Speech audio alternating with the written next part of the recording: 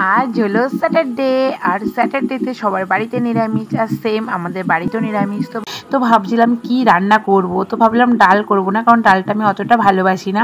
তো তারপরে ভাবলাম যে পনি আলুর দম করব। তো পনি আলু দমের জন্য এদিকে ছোট আলু আমি সিদ্ধ করে নিয়েছি। তারপরে এদিকে পনিগুলো পিস পিস করে কেটে হালকা তেলে বেশ ভাজা করে নিলাম, অল্প ভাজাই করেছি। আর তারপরে কিন্তু আমি মশলা দিয়ে দিলাম। মশলাগুলোর মধ্যে ছিল তোমার জিরে, আদা, টমেটো আর কয়েকটা কাঁচা লঙ্কা। তো সেইগুলো দেওয়ার পরে তারপরে আমি দেখতেই পাচ্ছ হলুদ গুঁড়ো, লবণ গুঁড়ো, জিরের গুঁড়ো ধনে গুঁড়ো, লঙ্কার গুঁড়ো আর কয়েক ফোঁটা চিনি দিয়ে ভালো করে মশলাটাকে আমি কষিয়ে নিচ্ছি। আর কত সুন্দর কালার এসেছে, তোমরা দেখো। আর একটু আলুর দম টম করতে গেলে একটু না কষে নিলে কি ভালো লাগে? বলো, একটু মশলা না দিলে কি ভালো লাগে? তো তারপরে আমি সিদ্ধ আলুগুলো দিয়ে দিলাম, দিয়ে ভালো করে নাড়াচাড়া করে নিচ্ছি। আর এদিকে তারপরে পনিরগুলো দিয়ে দিলাম।